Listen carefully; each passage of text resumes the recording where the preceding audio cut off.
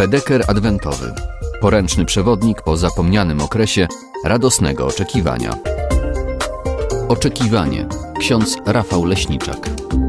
Temat oczekiwania to temat związany z czasem Adwentu, który przeżywamy w roku liturgicznym. Jako chrześcijanie spoglądamy na oczekiwanie jako oczekiwanie na święta Bożego Narodzenia, ale także na ostateczne spotkanie z Chrystusem, kiedy po raz drugi przyjdzie w chwale.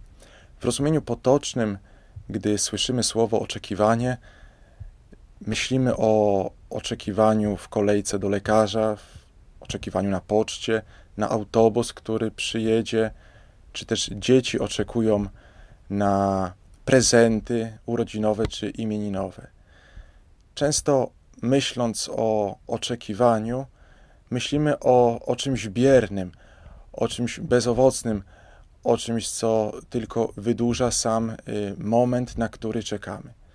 Natomiast w rozumieniu chrześcijańskim już samo oczekiwanie jest czasem przygotowania, przygotowania na spotkanie z Chrystusem przychodzącym.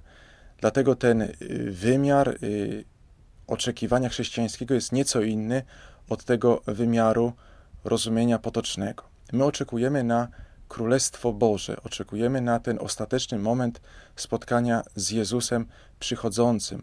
Dlatego można powiedzieć, że jako chrześcijanie żyjemy w perspektywie między już, a jeszcze nie, między tym pierwszym przyjściem, które dokonało się y, w Betlejem, w Nazarecie, w Ziemi Świętej, a tym ostatecznym przyjściem Pana Jezusa w chwale. Dlatego y, czas Adwentu jest to czas radosny, czas przygotowania serca na spotkanie z naszym Zbawicielem. Bedeker Adwentowy.